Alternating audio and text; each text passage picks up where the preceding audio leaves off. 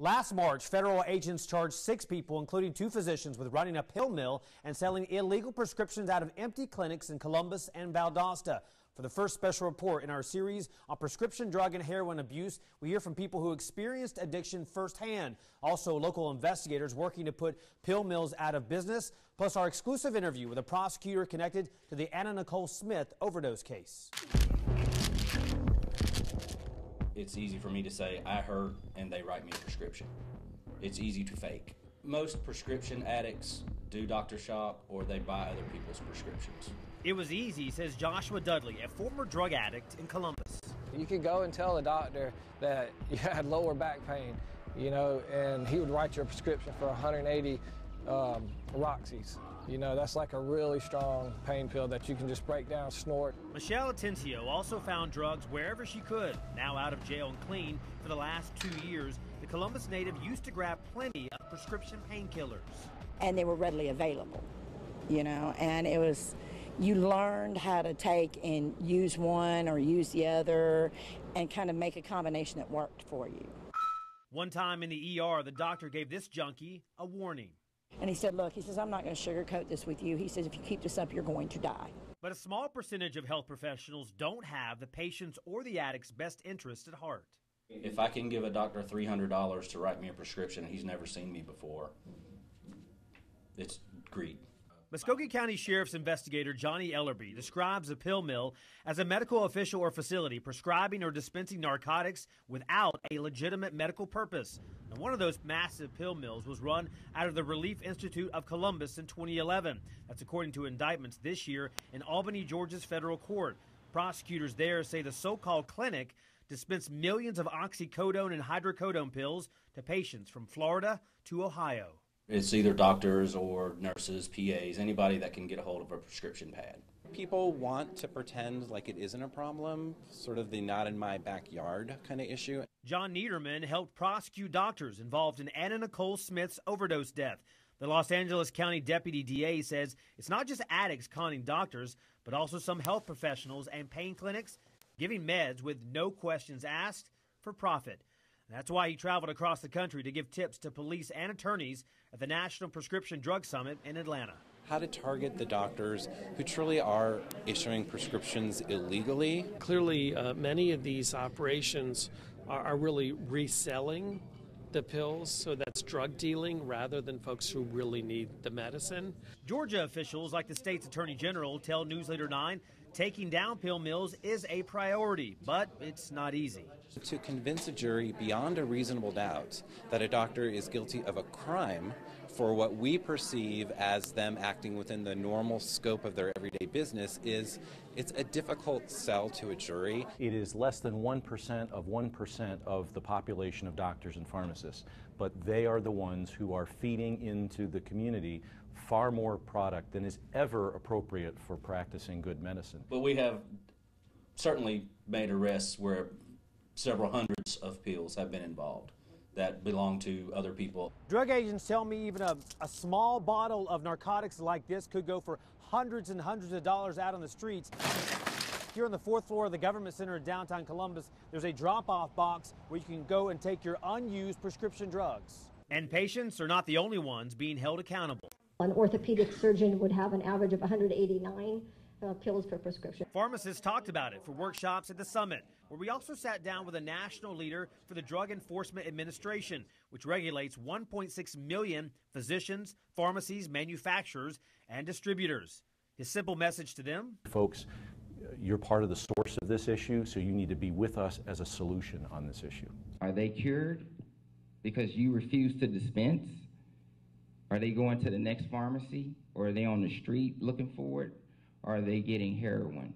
We're seeing the doctor shopping and the illegal prescribing as the beginning of the problem that leads down the road to further problems. And as more pill mills go under, users are shifting from painkillers and street drugs to heroin because it's as cheap as 10 bucks for a hit. Country, depending on the drug. Doctors like James Sirleaf, who leads the Columbus Midtown Medical Emergency Department, know how their prescriptions can indirectly have deadly consequences.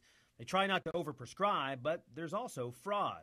Just this week, I was called by a pharmacy. Somebody had taken my, my license and DEA information, and they were calling prescriptions and narcotics in my name. Pharmacies have successfully been using a tracking system, which is why you have to show your ID. Certain drugs are restricted, partly to prevent overdoses, according to a California pharmacist.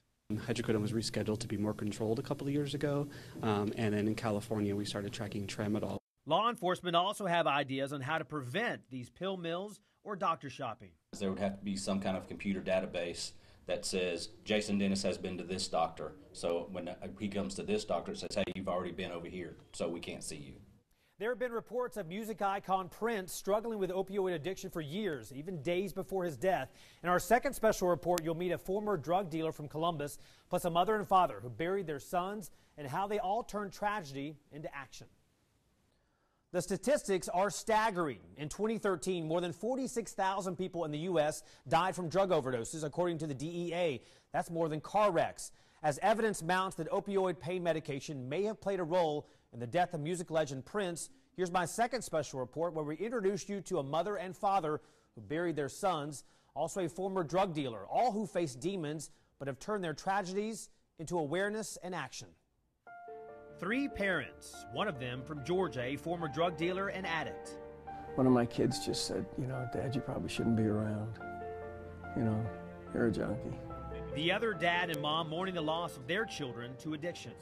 Curl up in a ball and you go into a fetal position because your world just got rocked. Wayne Campbell's oldest son, Tyler, facing injuries as a college football star in Ohio, was prescribed post surgery painkillers like Vicodin. Soon after, there was addiction stints in rehab, then Tyler got hooked on heroin. And within 12 hours of leaving the rehabilitation facility after a 30 day stay, um, he overdosed and died. So people are going from sniffing pills to sniffing heroin. The National Institute on Drug Abuse cites recent studies showing nearly half of young people who inject heroin reported abusing prescription opioids first, in part because heroin is so much cheaper now. I've just seen the horrors of heroin use.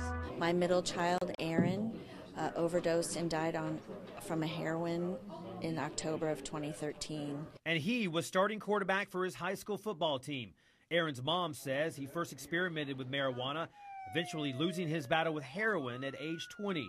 Since then, Justin Phillips spends her days urging parents and students to not ignore the red flags. I didn't know how strong the addiction is from your almost immediate use and how simple it is to die.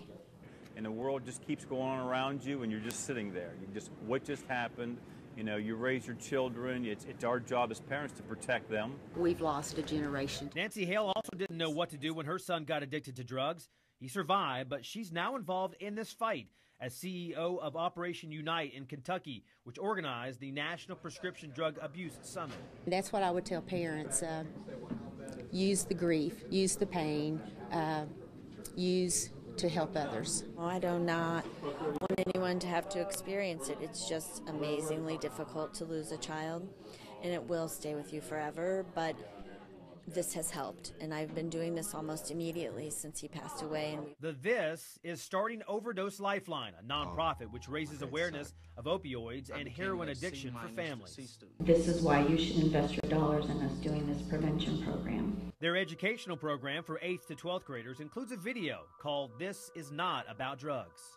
It's hard to concentrate when you're an addict because you just want a fix. It's Their stories serving as raw warnings to fellow teenagers, while Overdose Lifeline also offers alternatives to using drugs and alcohol in dealing with stresses and pressure. Drugs don't get you far. They gonna get you in a casket or locked up in prison. And there's no integrity and there's nothing left. There's just satisfying that monster. That monster for Neil Richardson was cocaine, and for 30 years. He called himself a functional addict who owned a business in Miami. Neil's side job was selling drugs. He hid coke in his freezer to take a break from the world. And I'd be crawling the streets at night trying to get some more. Once Neil's kids rejected him, he found a way out of his addiction by turning his life over to the Lord. God set me free from my addiction. To whom much is given, much is due. And so I do a lot to be focused on paying it forward.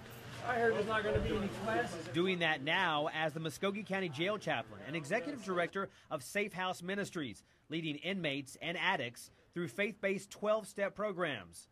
This dad's focus has also changed. I was just wanting to sit, you know, in a corner and do nothing. Through a bunch of bad ideas, being vigilantes, let's go take care of all the drug dealers, to having a, you know, a golf outing memorial of, those weren't going to do anything. And this idea of educating our youth and community about the dangers of prescription pills.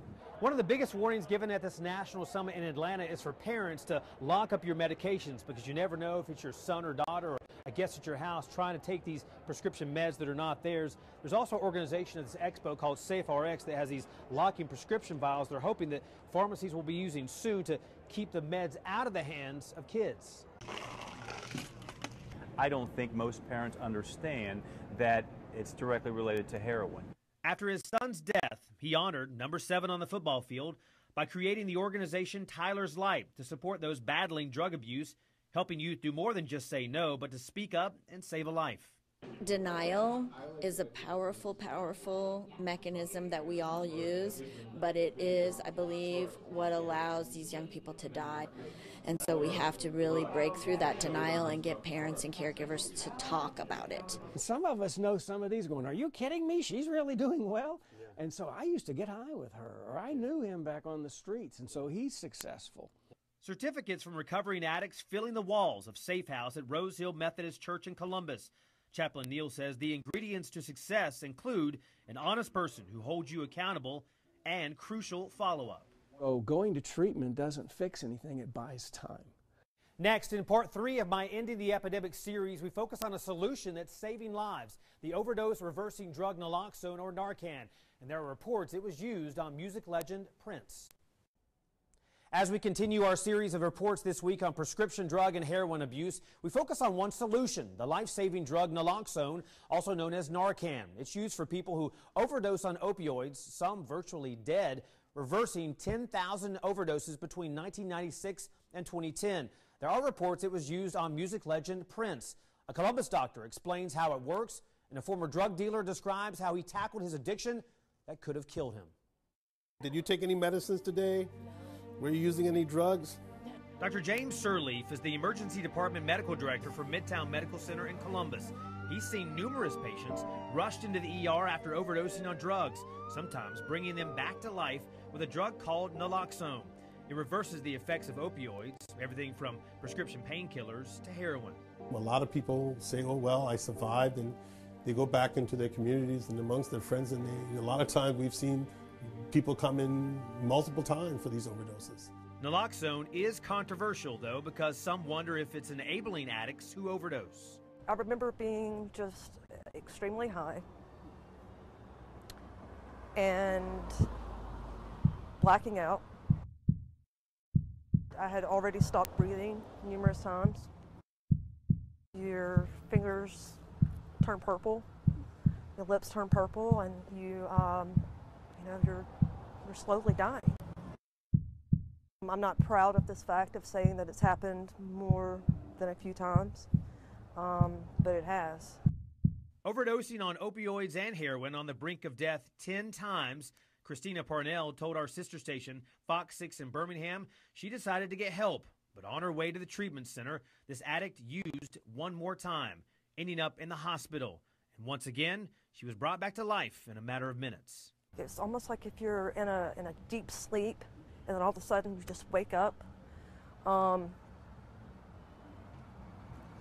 and I started shaking uncontrollably. The drug that saved her every time naloxone or Narcan. Because of heroin overdose deaths doubling nationwide, 140 in Jefferson County, Alabama in 2014 alone, U.S. Attorney General Eric Holder has called for more police officers and sheriff's deputies to carry naloxone. Close to 20 states, including Georgia, are following that recommendation. With overdosing, they stop breathing and go down into the 80s.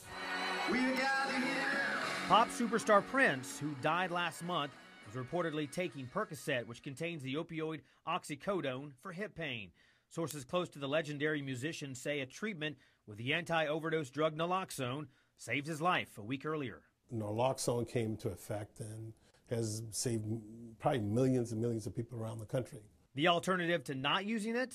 Brain damage and death within minutes of an opioid overdose. When naloxone is injected, it can work within just five minutes and essentially wakes up the person that overdosed on narcotics, but it does not replace emergency medical care. I joke about it. You can almost revive the dead because people are so, they're almost blue, and you give them Nar- Narcan and they wake up of this communist sleep. While many physicians admit the majority of drug overdose victims will relapse, their job is to do no harm. Then it's up to the patient to get clean. You know, people have to also take responsibility. Is this something that they want to continue?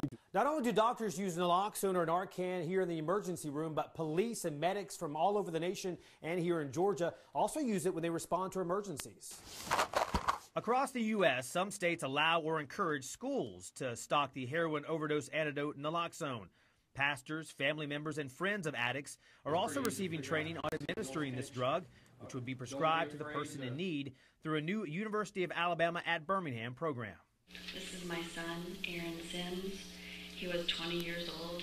Immediately after he passed away, I was fortunate enough to be part of a pilot project where I learned about naloxone and I learned about the lack of resources. Justin Phillips' son died from heroin addiction in 2013. Named for him, Aaron's Law was signed by Indiana's governor just last year, allowing Hoosiers to get a prescription for naloxone if they believe someone they know is at risk for an opioid overdose.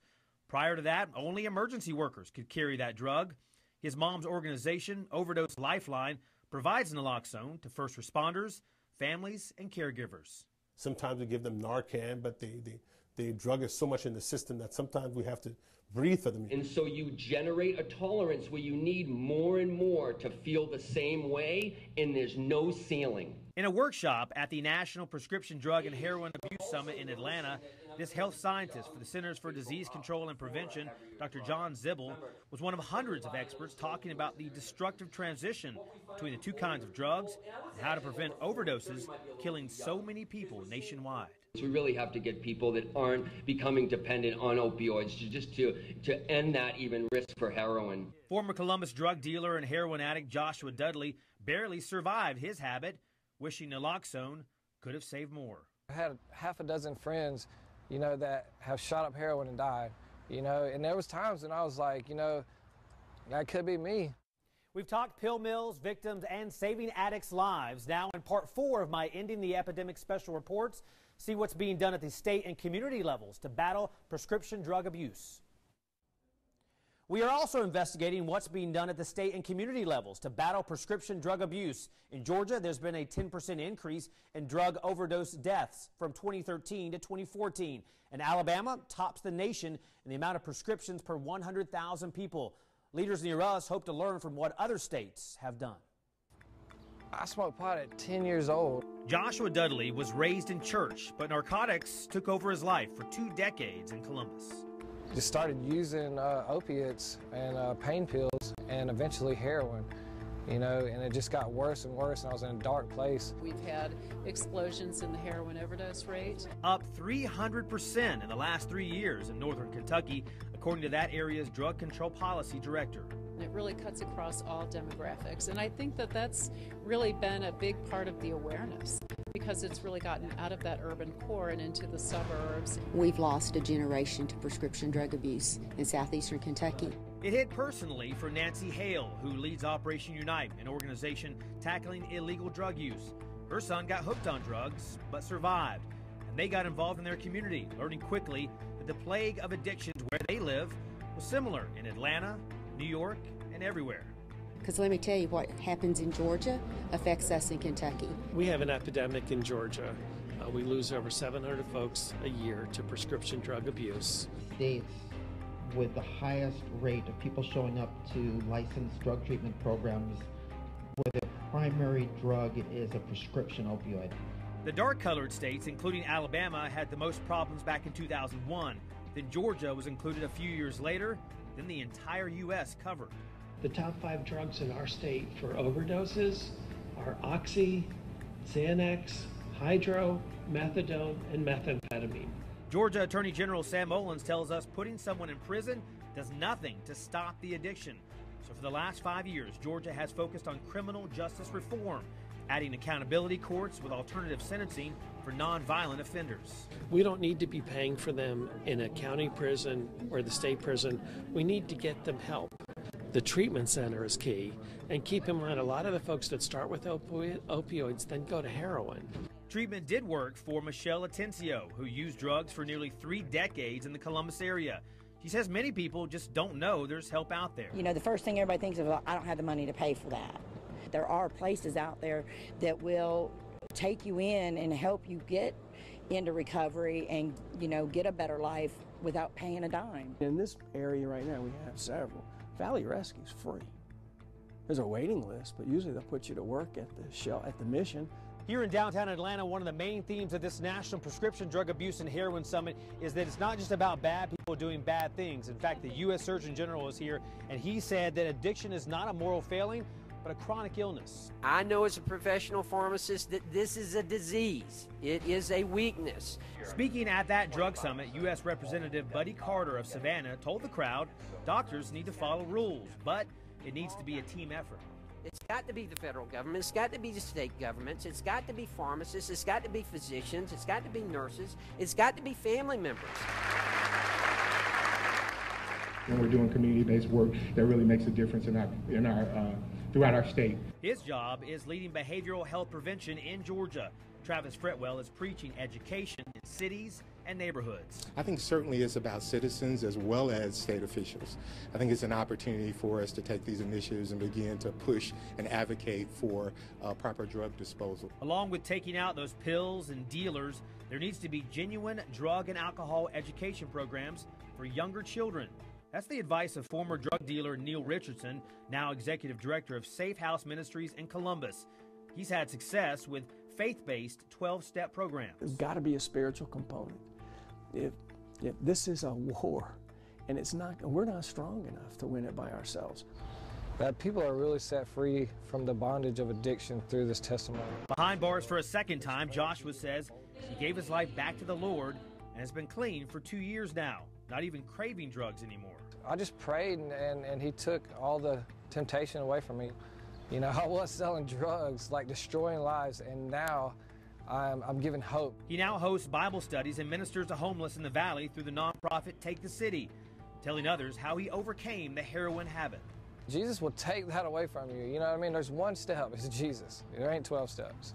And one vital step for state leaders is to catch people like Joshua before they get stuck in the drug world. Our goal ultimately is to prevent things from happening, but in the event that they do, we want to be able to provide the appropriate treatment. Leaders in Kentucky and Georgia say they're meeting with physicians, judges, jailers, advocates, and police to determine really how to help these addicts. And needed to understand what, what the counties could do in terms of increasing treatment, uh, increasing naloxone. You need to work with the doctors so that they fine tune which patients really need opioids and which don't.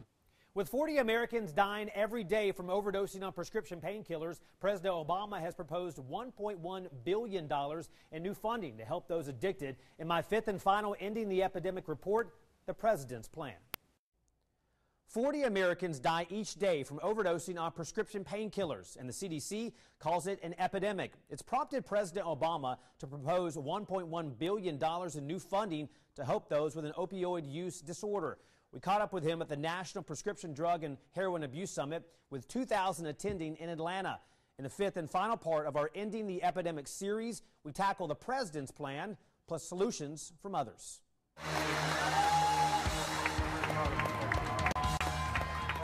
On stage, alongside a doctor and two former drug addicts for a panel discussion, President Obama had plenty to say about the epidemic of opioid and drug abuse, including his role as a father to a pair of teenagers. Their ability to access legal or illegal substances is very high.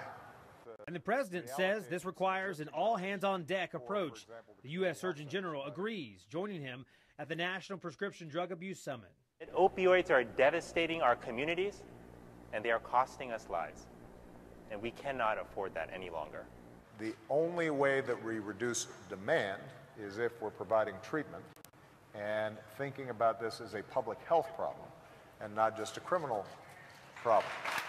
Now, it's not bad people doing bad things. My older son Brian struggled with drug addiction for many years.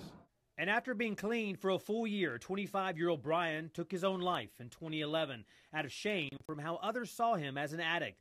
His father, Gary Mendell, still struggles with it. Some of the best times just aren't as good anymore.